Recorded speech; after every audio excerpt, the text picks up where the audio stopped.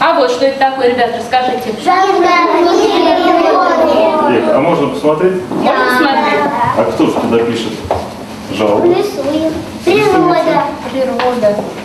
Вот как красиво. А на что же, ребята, нам нас жалуются? На то, что ее не закрепляют. В четвертом детском саду Заречного вопросам экологического воспитания уделяют особое внимание. Маленьких зареченцев учат, как нужно вести себя по отношению к природе. Своими знаниями малыши поделились с мэром.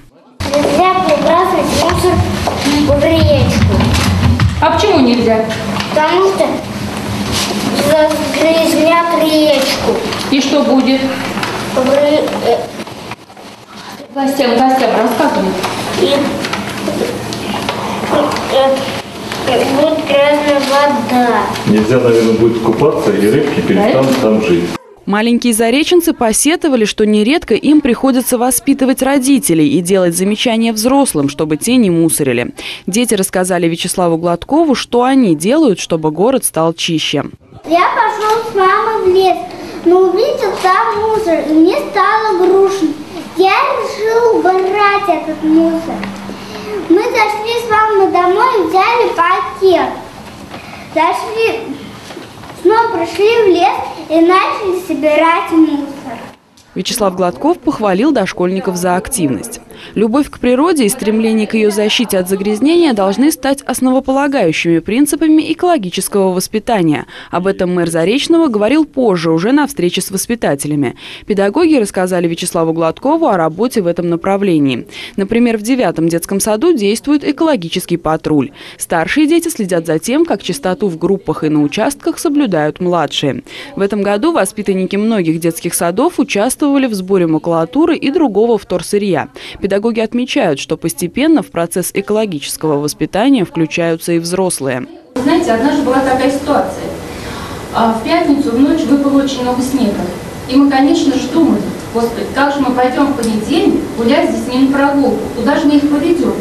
Вы знаете, каково было мое удивление, когда я утром пришла на работу, я увидела не только расчищенный участок, да, а там была построена снежная горка, и она залита.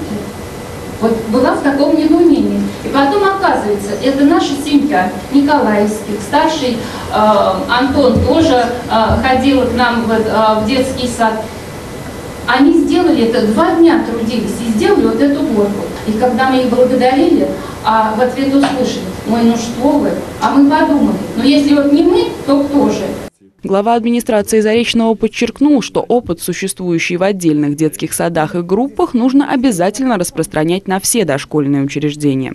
Я считаю, конечно, что главная наша задача, вот как раз э, то, что мы сейчас увидели наверху, буквально за пять минут, чтобы вот с такой идеологией у нас вырастали дети. С таким отношением будущее у нашего города есть. Мы никогда не сможем заменить психологию ни 30-летнего, ни 50-летнего, ни 60-летнего человека. Если он привык относиться, мягко скажем, негативно ко всему. Ни одно наше увещевание, там, ни один штраф его не, э, только озлобит. И только через детей, их воспитывая, и замечания, которые делают дети, они всегда гораздо эффективнее любого нашего действия в тысячу, в миллион раз. Вячеслав Гладков отметил, чтобы изменить отношение людей к природе, процесс экологического воспитания должен быть непрерывным в течение всего обучения. Анна Сазонова, Игорь Видаков, телерадиокомпания «Заречный».